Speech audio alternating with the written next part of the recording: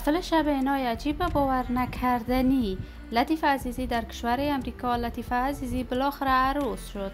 افشای حقایق و رازهای باور نکردنی زندگی لطیف عزیزی که هرگز باور نخواهید کرد. این هنرمند اکنون در کجاست مصروف چیکار باری است؟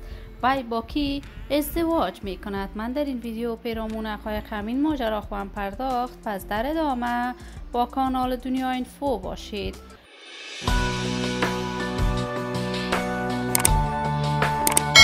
سلام و سلامتی رسال تک تک شما دوزاران نهایت ترجمت کانال دنیا اینفو. شما را خوش آمدید میگم به یکی دیگر از ویدیوهای جذاب و دیدنی.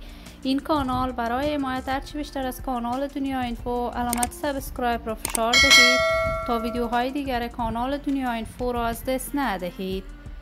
لطیفه عزیزی هنرمند جوان یکی از چهره های شناخته شده و مطرح در میان رسانه های افغانستان است. علاقمندان و دوزداران خاص خودش را داشته است. لطیف عزیزی با اشتراک در برنامه ستاره افغان تلویزیون طلوع به کارهای رسانهایش پرداخت و توانست در مدت خیلی کوتاه در میان مردم افغانستان علاقمندان و دوزاران خاصی برای خودش پیدا کند. لطیف عزیزی عاشقانه برنامه های رسانه ایش را به پیش می برد این دختر خانم در برنامه ستاره افغان تلویزیون طلوع هرچند حمایت خوبی از طرف مردم نشد ولی توانست با اعتماد به نفس که داشت برنامه های مختلف را به پیش ببرد.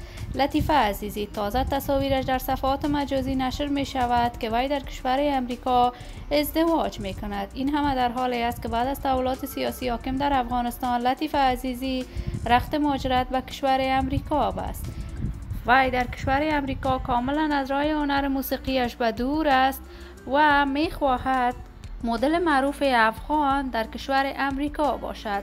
لطیفه عزیزی در کشور امریکا لباس های کاملا برهنه برتن می کند که بارها موج انتقادات را به همراه داشته است.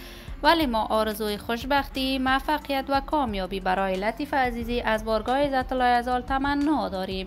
دوستان نهایت ترجمند کانال دنیا اینفو شما هم نظریاتتان را در بخش کامنت با من شریک بسازید. این ویدیو را با علاقمندان و دوستان لطیفه عزیزی به اشتراک بگذارید. برای حمایت هرچی بیشتر از کانال دنیا اینفو علامت subscribe را فشار دهید تا ویدیوهای دیگر کانال دنیا اینفو را از دست ندهید. تا درود دیگر. تک تک شما نازنینان خوب کانال دنیا اینفو را به منان سپرده. موفق کامیاب باشید.